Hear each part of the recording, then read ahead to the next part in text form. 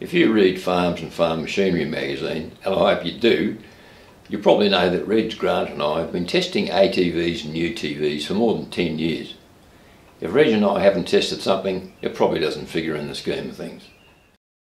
The only thing we haven't really tested is an amphibious vehicle that can be used on the farm. There aren't too many of them anyway, but the best known one is Argo. And just so happens that a couple of weeks ago, Argo gave us a call and said, hey, how'd you like to test our 8x8 Frontier? We said, hell yeah, bring it on. Before we get into it though, we asked Gary Olson from Argo to explain how this machine works, the basic function. Over to you, Gary. Okay, this is the Argo Frontier steering handlebars, throttle on the right, downhill brakes on the left, left hand turn, right hand turn.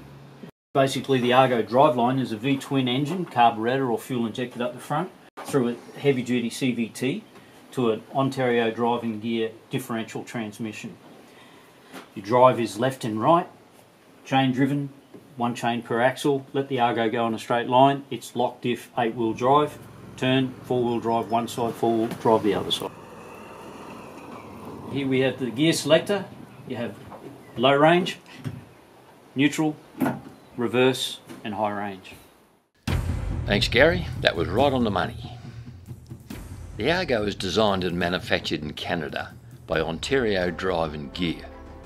The company has been in business since 1962, specialising in precision gears and transmissions, but also has a reputation for its amphibious all-terrain vehicles. In Australia, the Frontier costs $21,300. That's about the same as a fancy side-by-side, -side, and they can't swim. This 8x8 does about 35 kilometres an hour on land, and since tyres provide the only propulsion while it's swimming, it manages about 5 kilometres an hour in water. Most diesel side-by-sides are no faster, and in our opinion, the Argo's ability to carry a load on land and water far outweighs any lack of outright speed.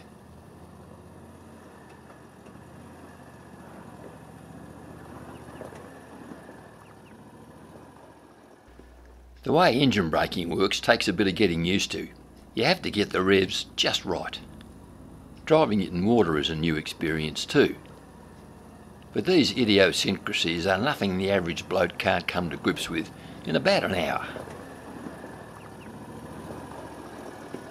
Since the vehicle skid steers, you don't turn it in the normal sense of the word. An Argo can change direction faster than any ATV. It can almost spin on the spot. Fully loaded, it has a ground pressure less than one man walking.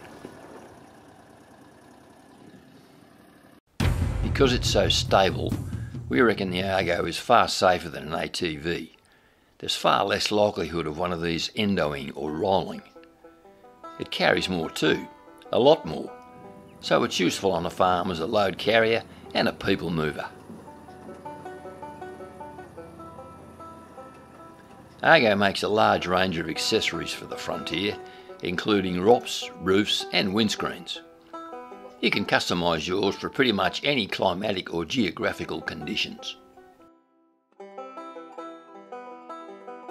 For a full rundown on the nifty Argo Frontier, get a copy of Farms and Farm Machinery magazine.